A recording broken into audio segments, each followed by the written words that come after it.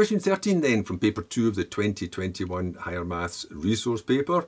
Section A, the last one in section A, the one with the vectors and the recurrence relations, back to vectors here. So what have you got? You've got this three-dimensional wire model, this prism here. And it gives you the displacements, the vectors, which are just displacements because they tell you to get from point to point, getting displaced. It gives you the displacements for AB, BC and BF. And it also tells you that AB is twice DC. That move is twice that move. And from that, they're just looking for various, the components of various other vectors, other displacements. So it says, first of all, what's CF? Well, it's only one mark, so you could just state it, I presume, I don't know. Because the marking scheme's not very specific for this, because it wasn't a real exam. So, how can you get from C to F? Well, it's just, if you're a little spider wondering about this framework, how could you get from C to F? Ideally following paths that you know. Well, you could go from C to B, because I know that path. It might be the wrong way around, but I know that path. I can go from C to B, and then from B to F. Because C to B is just the opposite of that. I'll just put it, I can either put negative of it, or just go in and change them. Or maybe I'll just go in and just change them, because it's only the one mark. So it'll be the reverse of that. So it'll be 7, negative 5, negative 3. And onto that add BF, which stays the same, 7, 11, negative 2.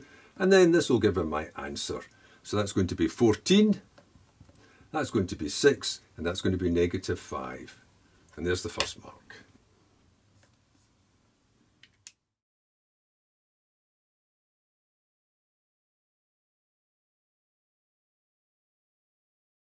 B. Hence or otherwise. Now, hence or otherwise usually means using what you've already done. Hence or otherwise express df in component form. So now I'm at D and I want to go to F. I already knew how to get from C, so all I've got to do is go to C and then I'm home. So df is just going to be dc plus what I did already. That'll take me there, that'll give me the moves. So, what's dc? Here it's here. DC is half of AB. So it's going to be a half of AB. Should I state that first? It's going to be a half of AB followed by CF. So maybe I'll just half them on the spot because again it's only the one mark. Now AB was 8, negative 4, 6. So that'll be half of that. 4, negative 2, this is going to run out. 4, negative 2, 3. And that one we just did, so that was the hence part. 14, 6, negative 5. So this will give me this answer now. So that's going to be 18.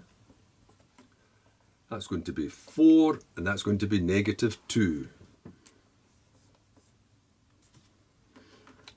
So that was that mark.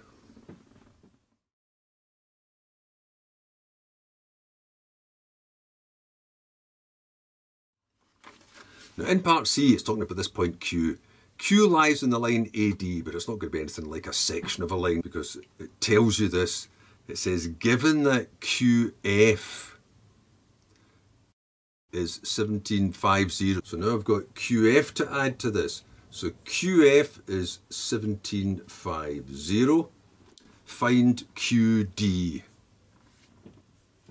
Well, if you know QF and you know DF, I've forgotten which one I'm looking for. I'm looking for QD, so I'm just going to put that down, QD. So I remember QD. Well, I can construct this because I know how to get from Q to F. They just told me. I know how to get. I know also know how to get from D to F, so I could pair them together. So I know that QD, going from Q to D, would be the same as going from Q to F, which I know, they just told me, and then going from F back to D. Just make a little displacement equation there. Right, so they told me that one. That was 1750. Now F to D is the reverse of this, but that's easy enough. You just put it the other way around. So it'll be minus 18, minus 4 and 2. So that now gives me this answer. That'll be negative 1, 1, 2.